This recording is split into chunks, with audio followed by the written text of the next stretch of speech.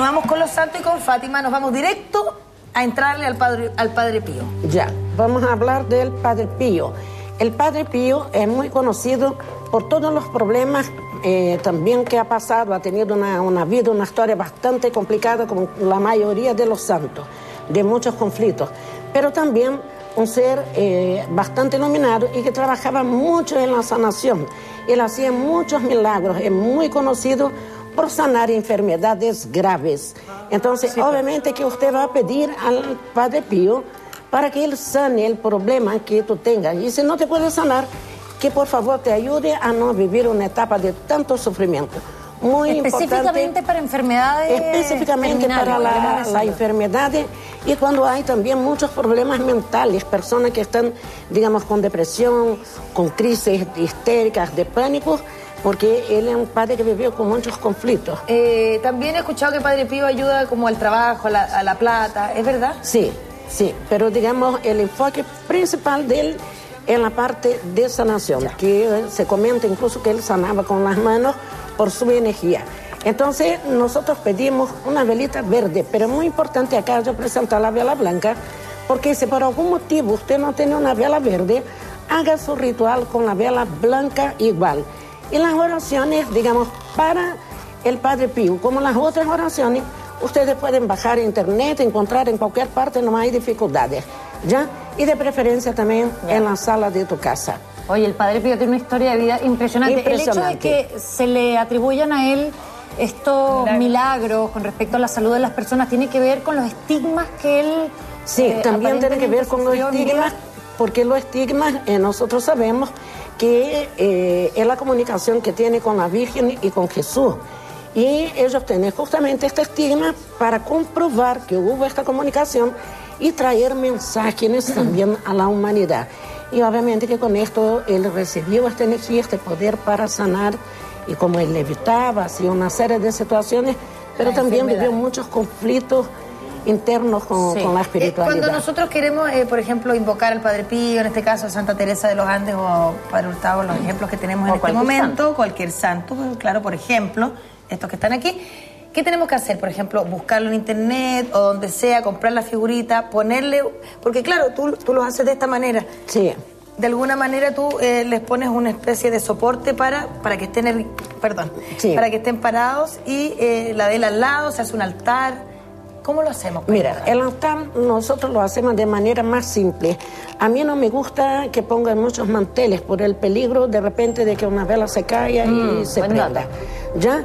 Entonces, lo principal es que tú tengas la vela, una imagen que tú puedes bajar de internet, de una revista o, comprar una imagen cualquier, pero lo más simple posible, ¿ya? Porque lo que está es tu intención, tu fe y la vela que representa la luz divina y que va a ser tu comunicación, porque en este momento tú vas a estar tranquila, relajada, va a ser tu oración. Si por último tú encuentras una oración, ¿Qué tipo de oración, uno puede hacer una oración, lo principal, Janine, para mí, de la oración eh, son tus palabras.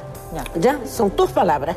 Entonces, si tú no encuentras una oración específica en internet, porque siempre la va a encontrar, o hasta mismo en una iglesia, tú hagas tus peticiones personales dirigida al santo de tu devoción.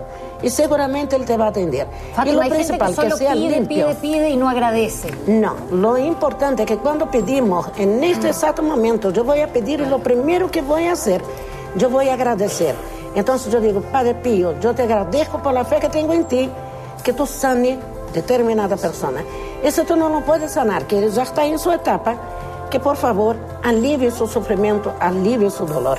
¿Ya? Entonces, lo principal es agradecer. No es dame, dame, dame. No, gracias por la gracia ya alcanzada, porque tú ya estás demostrando la fe y la confianza en este momento. Ahora, hagan, prueben. Y otra cosa importante, no es hacer solamente una vez. Ah, ya. Tú tienes que hacer una media de por lo menos dos veces a la semana, dar una secuencia. O si no, también se puede hacer las novenas, que también son muy importantes. ¿Qué son las novenas? Explícanos más o menos cómo La novena es un periodo que tú vas a estar en oración por nueve días. Cuando son casos más urgentes, yo puedo orar nueve veces en el mismo día. ¿Me entiendes? O sea, nueve rosarios, Nueve rosarios o hacer el procedimiento con la vela nueve veces. Yo prendo la vela, hago mi oración, dejo, dejo la vela prendida por una hora, vuelvo y voy a hacer durante nueve veces durante el día, cuando son casos muy urgentes. De enfermedades muy claras. Enfermedades, algún proceso judicial, lo que sea grave. Esto de la oración puede ser también una conversación, decir, pucha, eh, Padre Pío, en este caso, te pido, por favor, si tú me puedes ayudar realmente con la salud de... Mira, Antonio, yo creo que tú, tú dijiste algo que es lo que yo te vengo intentando decir, que yo encuentro lo más importante. La oración es tu comunicación con tu santo de devoción, con tu ángel, con Dios. Entonces tiene que ser un diálogo íntimo no me gustan mucho las cosas decoradas. Entonces yo pienso que tú tienes que hablar con tu fe, pero en primer lugar siempre agradeciendo por la presencia de Él y por la gracia ya alcanzada. Y ahí tú tengas esta conversación, porque tú puedes leer una oración, pero tú no expresas tu emoción en este momento, entonces es difícil la conexión. Vamos a continuar con los santos y tenemos al que se hizo famoso hace unos años, o sea, digamos en términos eh, populares, San Expedito. Sí, San Expedito, bueno, como yo ya comenté, San Expedito en Brasil trabajamos mucho, mucho con él y se conmemora el 19 de abril o todos los 19 de cada mes se puede pedir.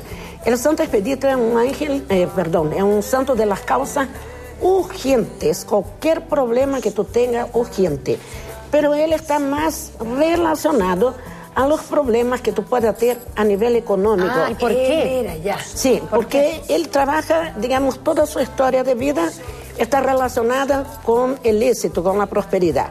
Y es un, santo que viene a ayudar en los negocios.